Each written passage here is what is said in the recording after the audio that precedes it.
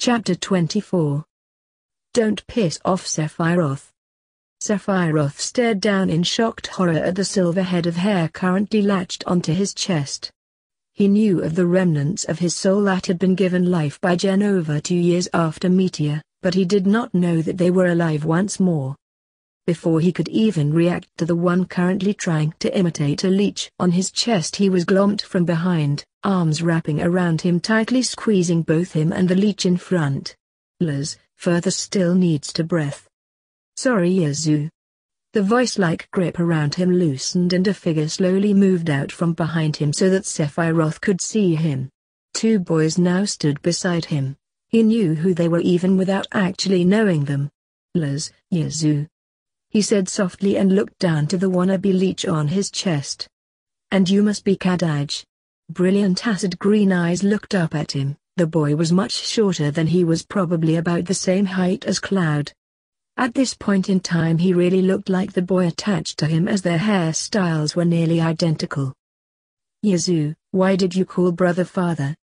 Loz asked. Kadaj surprisingly had been quiet but hadn't released Sephiroth. He is the reason we exist, we share his cells. Dot dot is that not what father and son are? Seph? Genesis moved up to them. He had been sent on a Honeydukes run since Sephiroth was now banned from the store. Yeah that wasn't a pretty story from the last Hogsmeade trip. He has a growth yo. Reno chuckled but was making sure to stay away from the prettiest of the remnants as that was the one that had royally kicked his ass the last time they met. Seeing this Yazoo smiled tilting his head to the side much as Sephiroth did when he was curious about something. Are you afraid of me Turk? Not on your life yo. But that didn't mean he was going to move from Rufus' side. Yazoo actually giggled and moved over to Sephiroth though his eyes were looking at General I'm still trying to figure it out General. This one. He motioned with his finger to the leech, attached himself to me and hasn't let me go. Are these? Are these your remnants? Genesis asked his eyes sweeping over the three that looked so much like Sephiroth. We're not remnants anymore. Kadaj finally spoke up still clinging to his father, brother he didn't know what to call him. We no longer share his soul, simply his cells. What are you three doing here? The goddess didn't inform us that you had been reborn. Hello Director Lazard. Genesis noticed the man for the first time, he was surprised but not completely to see him. He knew from his time speaking with Angela and Zack during their time in the Lifestream that Lazard and Rufus had finally bonded as brother. Yeah they weren't exactly going to leap into each other's arms and ball, but close enough they weren't going to kill each other. We came back to watch over dad brother mother she's alive still, and she wants her favorite son.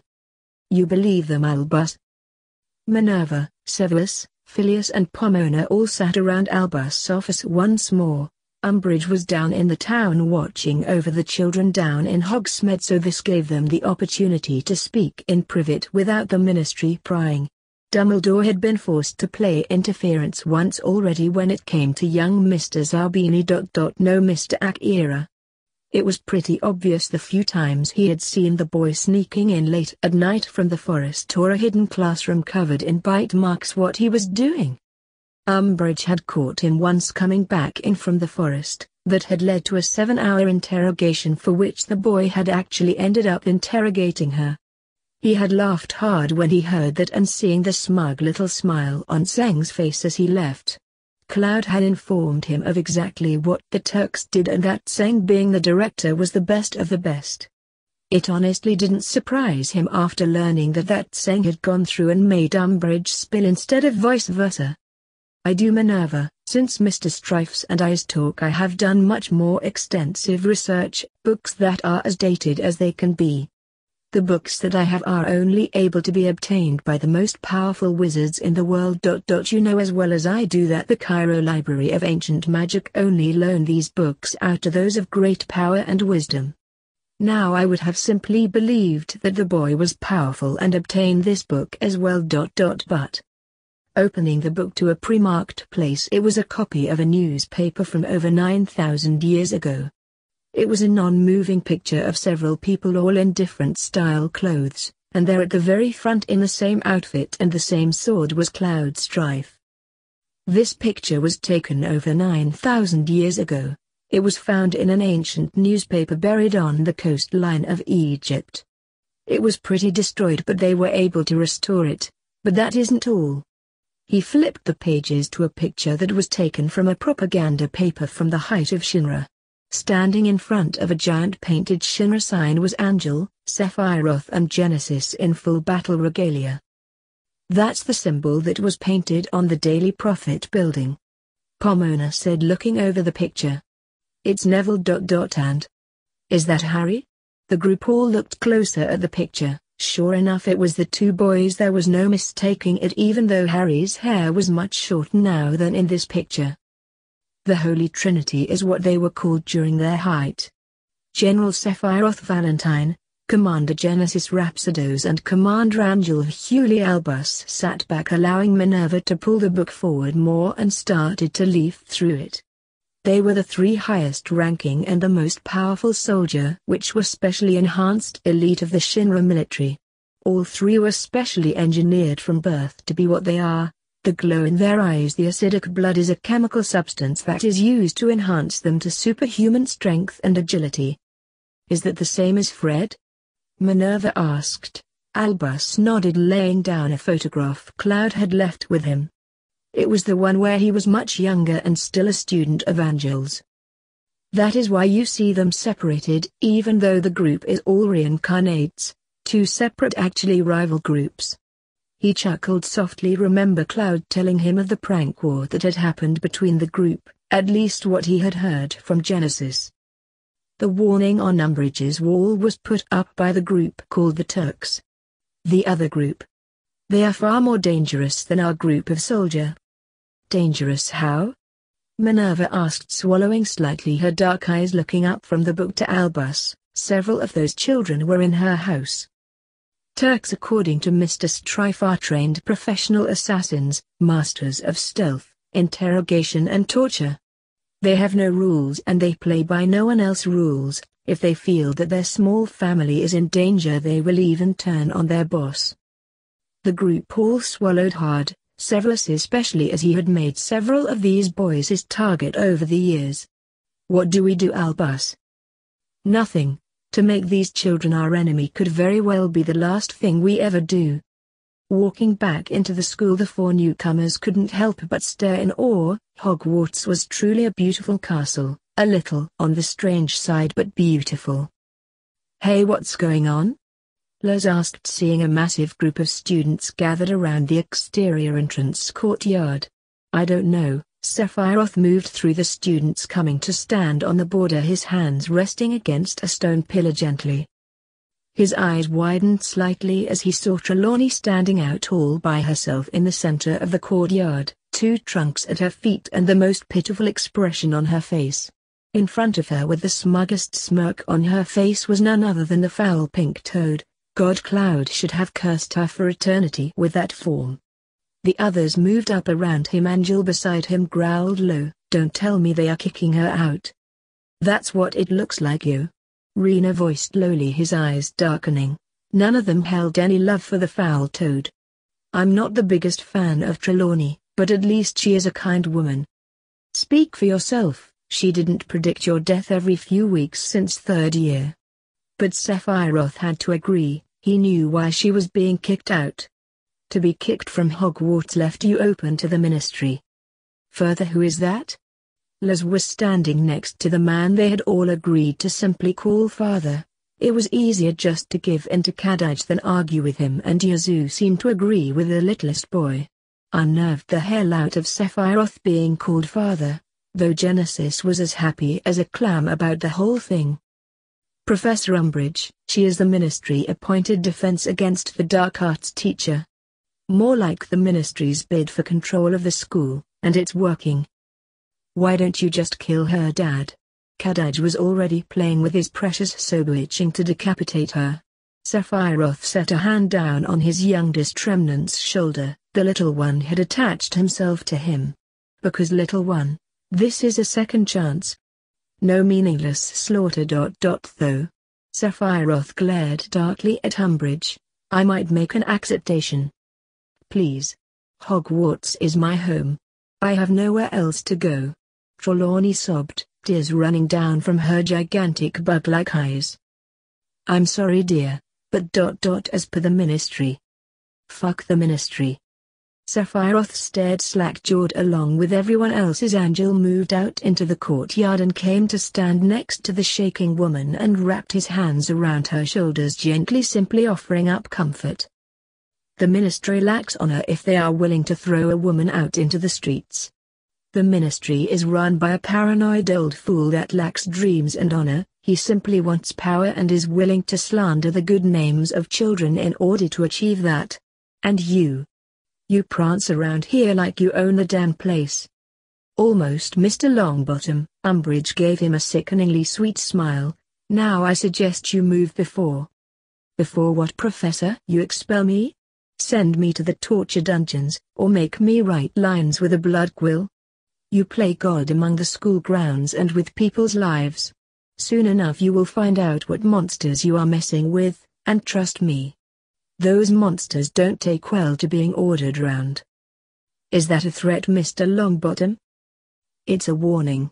Sephiroth moved up the long crimson leather coat he had stolen from his lover fluttering around his feet as he moved. One I suggest you heed Professor, a war is coming.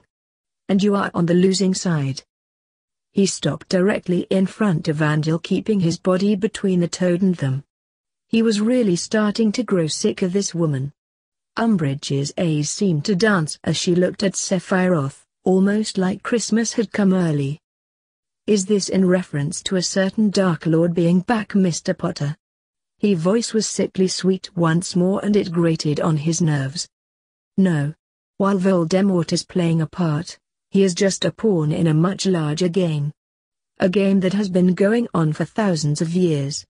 You sit here, in your horrid pink office playing God over a bunch of underage children, tell me Umbridge does that make you feel superior, knowing you can rule over a bunch of children? I bet if a real threat was in front of you you would cower down like the toad you are same as well as the ministry, as long as Fudge can remain in his paranoid dream of power you will lord over whatever you can. The rage building in Umbridge's eyes was unmistakable. She was furious, probably because Sephiroth was hitting the nail right on the head every time. Angel, take her back to the castle. Knowing better than to argue with his general Angel nodded gently pulling the stuttering professor away. Trelawney reached out gently grasping Sephiroth's hand, thank you. Thank you. Zack raced out and grabbed the trunks pulling them back in with the help of Rude. Seph. What are you doing? Tseng was once more in Cloud's shirt, he was standing at the front of the group which was now accompanied by teachers and now the headmaster. Sephiroth ignored them his sole attention was on the toad in front of him. Mr. Potter I thought you were taught not to tell lies, the ministry is full of a bunch of retarded paranoid sociopaths with their heads shoved so far up their ass they need to unbutton the middle of their shirt just to see. The ministry is a joke, always has been and you being here is the biggest joke of all. You sit here and deny the truth, make up laws that prevent students from learning magic magical because your dear lovely minister is so damn paranoid we. A bunch of kids are going to rise up against him and take over the ministry. The magical community is now under the rule of a dictatorship, and I can tell you right now Umbridge. The magical force that is coming our way is nothing you have ever dealt with before, and you will lose. So I suggest if you want to keep that miserable existence you call a life, you back the fuck off from us. Seph is pissed you. Reno was shocked normally Sephiroth became deadly quiet when he was upset. No. That's Harry coming through. Even though Sephiroth himself was fully in control, Harry's personality still shone through, just as all of theirs did. Umbridge was pissed and it showed on her face. She tried to hide it with her sweet smile but it kept faltering. She slowly pulled her wand out and leveled it at Harry. The teachers moved to intercept but were stopped by the reincarnates. Don't. Sephiroth can handle this. Tseng said looking up at Dumbledore. Seeing it there was the Turk director that stopped him Albus nodded slightly knowing it was best to trust this man. What are you going to do Umbridge? Attack me for speaking my mind against you. Oh yeah this was definitely Harry coming through, Sephiroth would have just beheaded her already. I am going to take care of this lying once and for all Mr. Potter. Sephiroth's eyes began to glint that old insanity coming through once more that small sadistic smile lighting his face. He looks just like he did at Nibelheim. Zack whispered fear starting to creep into his voice. Nibelheim? Severus asked, the memory of the town burning he had seen in Harry's memories surfacing once more. Yeah. The town he burned to the ground in a fit of insanity. It was wonderful. Do it dad. Kadaj shouted out ignoring the horrified looks from the professors. The remnants. Don't mind them. Reno said turning just in time to see Sephiroth produce a brilliant red materia from his pocket. Is that? It's a summon. Tseng felt his blood run cold, while Sephiroth could control all summons is somewhat easily too large to fit in this small courtyard. A summon? He's going to call forth a summon? Albus was both horrified and intrigued. Never in his wildest dreams did he ever think he would see a summons. You wish to silence me Umbridge? Well. Let's see who has the bigger guns then shall we?